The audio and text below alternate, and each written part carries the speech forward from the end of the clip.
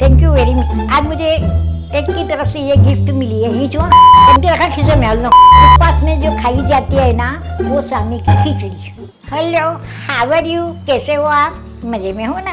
मैं भी मज़े में हूँ। चलो तो आज मैं आपको दिखाती हूँ सामा बनाना। सामा को महाराष्ट्रियन में भगर बोला जाता है। और ये जो रेसिपी है, वो उपवास में खाई जाती है। तो आज मैं आपको दिखाती हूँ सामा बनाना।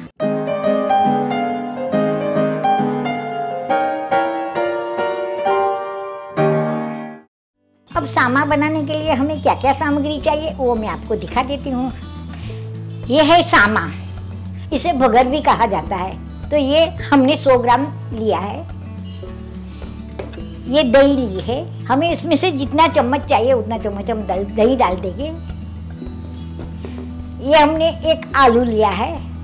उसे हमें छोटा छोटा काट के इसमें डालना है।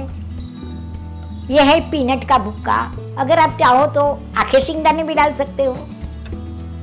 ये जीरा, ये नमक, ये मैंने तीन चार हरी मिर्च लिए, ये फ्रेश धनिया, और ये है कड़ी पत्ता। तो चलो, हम तैयारी करते हैं सामा बनाने की। ये सामग्री बनाने के लिए सबसे पहले हमें आलू काटना है। तो आलू के छिलके निकाल के हमें उसके छोटे छोटे टुकड़े कर लेने हैं।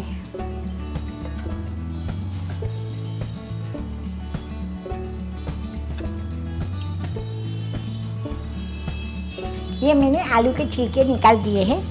अब हमें इसके छोटे छोटे पीस करने हैं।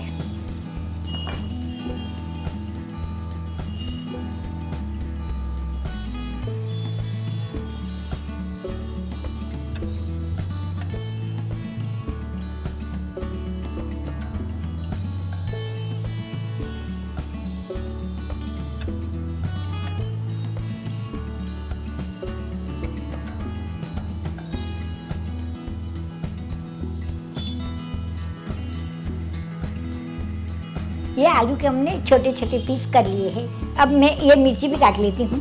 ये मिर्ची हमें गोल या ये नहीं, इसमें से दो चीर करके हमें ऐसा काटना है।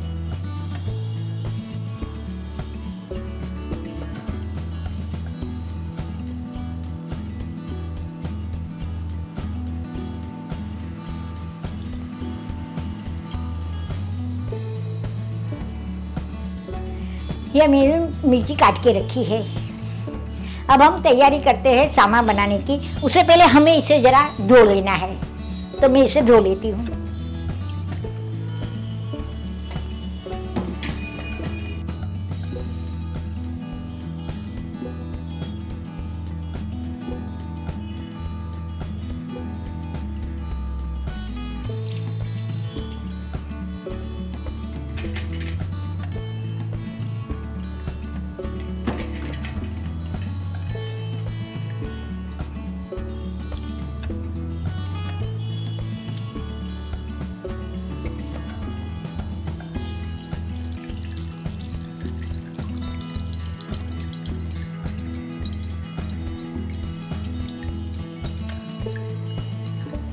ये मैंने दो बार धो के रख दिया है।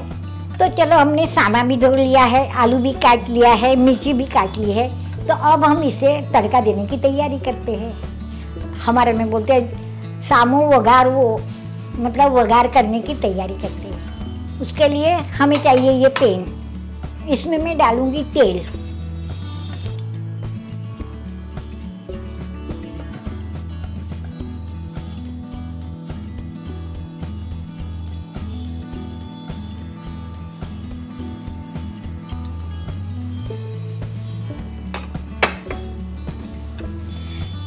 मैंने उसमें पाँच से छः चम्मच तेल डाल दिया है। अभी मुझे तेल गरम करना है।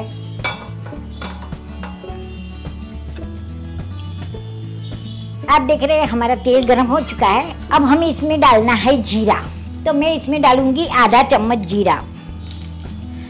अब हमें इसमें डालनी है तीन चार मिर्ची। और हमें डालना है ये कड़ी पत्ता। अब हमें इसके ज़रा मिक्स कर लेना है।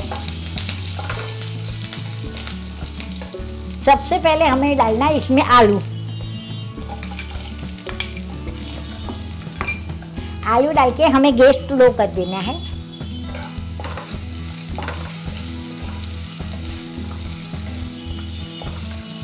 आलू हमें दो से पाँच मिनट तक पकाना है, ज़्यादा पकाना नहीं है, क्योंकि हमें इसमें वोम वाटर डालना है। तो उसमें भी आलू पक जाएँगे। जब तक हमारा सामा पकेगा तो आलू भी पक जाएँगे।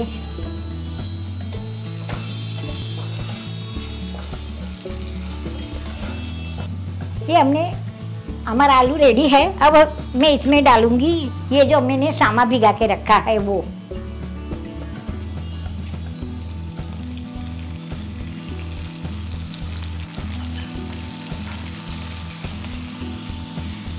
और इसे हमें अच्छी तरह से मिक्स कर लेना है।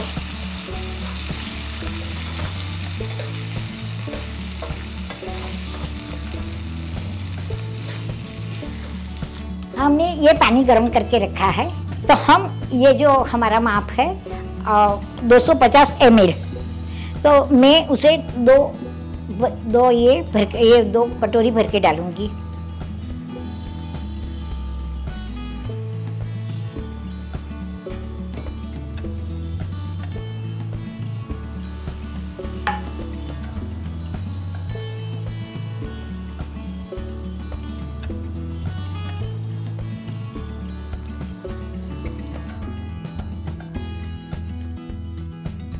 हमने 500 सौ जितना डाल दिया है पानी, अब मैं इसे मिक्स कर लेती हूँ। हाँ हमें ख्याल रहे कि इसमें गंदा, गट्टा नहीं होने देना है। उसके लिए अच्छी तरह मिक्स कर लेती हूँ। अब मैं इसमें डाल देती हूँ नमक। नमक हमें स्वाद अनुसार डालना है।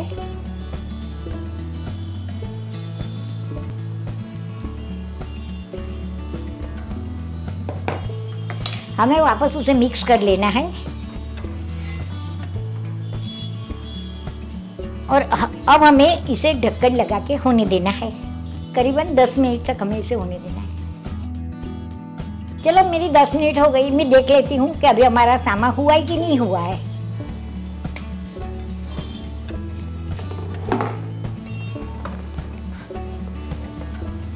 मुझे लगता है अब हमें इसमें थोड़ा पानी की और भी ज़रूरत है। तो मैं इसमें और अढ़ाई सौ मिलीग्राम पानी डाल देती हूँ। हमने अब जब पानी डाला है, तब मुझे लगता है कि हमें ये ये जो मैंने सिंग का पाउडर लिया है ना, वो भी हमें डाल देना है। वो मैं चार चम्मच डालती हूँ।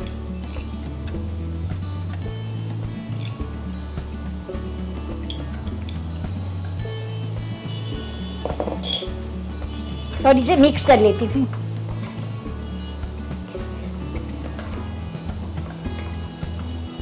अब इसे स्लो ताप पे में पका लेती हूँ। पाँच मिनट तक और पका लेती हूँ।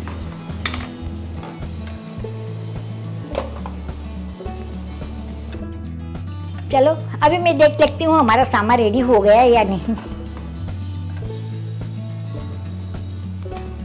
हाँ हमारा सामा पक्के रेडी हो गया है। अब मैं गैस बंद कर देती हूँ और इसमें डालती हूँ चार चम्मच दही।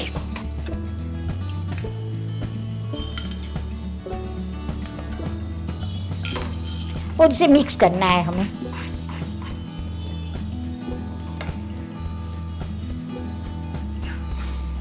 चलो, हमारा सामान रेडी है। आपका मंगलवार हो, गुरुवार हो, शनिवार हो, या कोई दिन फास्ट करना हो तो आप ये बना के खा सकते हैं। चलो, अब मैं उसको सजा के आपको दिखा देती हूँ। अब ये हमारा सामा बगर रेडी है। तो चलो, अब हम हम इसे थोड़ा सजा देते हैं। तो मैं उस पर डालूँगी थोड़ी सी कोतमीर